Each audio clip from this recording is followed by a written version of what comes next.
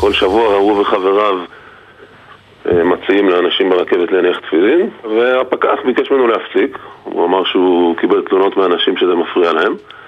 מדובר לגשת לאדם, כמו שאדם ניגש אלייך ואומר בוקר טוב, מה שלומך? זה לא אותו שבת?" דבר. לא, בוקר לא. טוב ונרות שבת והנחת תפילין זה אותו דבר? סליחה? בוקר טוב זה ברכת שלום. מה זאת אומרת? מה, ב- ב- בארץ יהודית אי אפשר לגשת לאדם להגיד לו... זה לא אותו דבר, זו פעולה מיסיונרית, סליחה. להגיד שלום למישהו זה תגידי- כמו להניח תגידי, תפילין? ענת,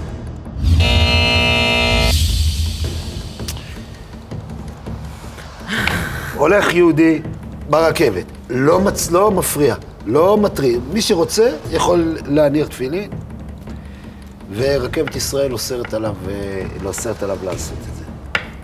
כן, גלית. אני רוצה להגיד שתנועת ההדתה הצליחה. זאת אומרת, דברים שנשמעו בלתי סבירים לחלוטין לפני עשר שנים, היום נשמעים כמו, באמת, יובל המבולבל אה, שואל את קהל הילדים, מה שלומכם ואהבת לרעך כמוך, וזה אייטם שלא יורד מהכותרות שבוע.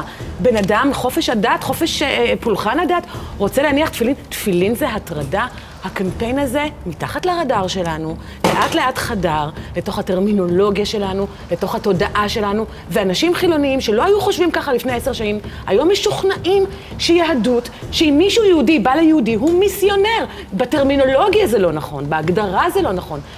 הם הצליחו, אגב, היהדות הראל, מעולם... הם הצליחו, היהדות, זה גם מצחיק, היהדות מעולם לא הייתה דת מיסיונרית, להפך. בדיוק. קשים גרים לישראל כספחת. אה, פלייש. כן, אני דווקא חושב שההחלטה הנכונה של הרכבת במקרה הזה, אם מדובר בתחנה, בכיף, תבואו, תעשו, אבל אתה בא, אתה יושב ברכבת, זה לא מקום נוח עם מרחב, זה לא מקום שיש לך לאן לברוח אליו. לא עניין של? תפילין או לא, לא עניין של תפילין או לא. הוא מדבר פרקטי. אתה יושב בשקט, ברכבת, זה מקום קטן, בא מישהו, עומד מעלך, כמו במטוס. לא כי אכפת לי שמתפללים עליי במטוס, כי זה פשוט אנשים רוצים שקט, זה גם אתה יכול לפגוש את כולם בתחנה, את כל האנשים בדיוק באותה מידה, אבל אני כן מסכים איתך בנקודה הזאת, והיום אני ראיתי הקצנה באמת פסיכופתית של הדבר הזה.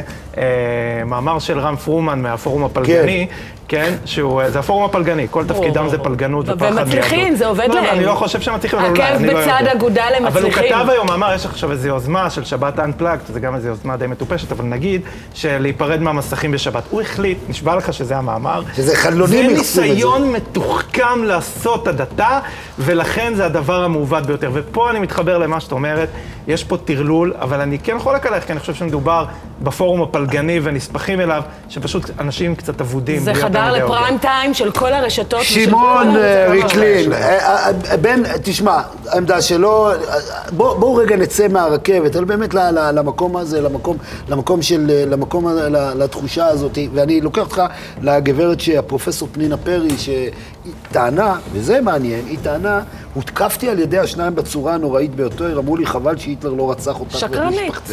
חסיד חב"ד, הרב מאיר אה, הרצל, מאיר הרצל, זה יפה, אומר, חס וחלילה לא קיללו וזה, אגב, אני במקומם הייתי תובע אותה דיבה על הדברים האלה, אבל, אבל, אבל זה כן מעיד על משהו. יש איזה... בעיניי, בעיניי, אם תיתן לי עשר שניות, אני אנסה להסביר את הרקע של הדברים.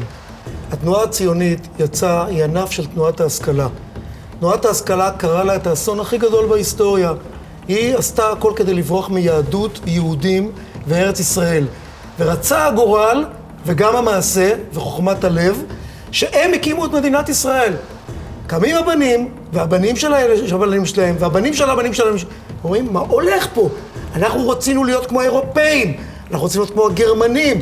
מה אנחנו עושים בשטטל הגדול הזה? כולם אומרים את זה? לא, אבל קח את השוקניאדה, קח את המשפחות הגרמניות הבולטות, ויהודי גרמניה, כמשל, הם הסיפור של הטרגדיה הזאת. אבל הם לא עד הציונות היום לא היא, התאוששו. אה, מזרח הם אירופאית לא- לחלוטין. הם לא התאוששו, בסדר, הם עד היום לא התאוששו מכך שלא שמו, שהם לא נשארו להיות גרמנים, כי זה חלום חייהם גם היום, של הרבה מהם, אני לא רוצה להכליל, ואז כשהם באים לפה ורואים שלאט לאט מדינת ישראל הופכת להיות יותר ויותר יהודית, והם מבינים שהם בקרב מאסף, הם נטרפים. אני לא מכיר שני יהודים זהים. אני מכיר יהודים אה, חילוניים ומסורתיים, וגם בתוך המסורתיים, אני אף פעם לא פגשתי יהודי דתי שהוא בדיוק כמו השני. לכל אחד יש את ה... אני פגשתי, אתה יודע איפה? על הפלטפורמה באושוויץ.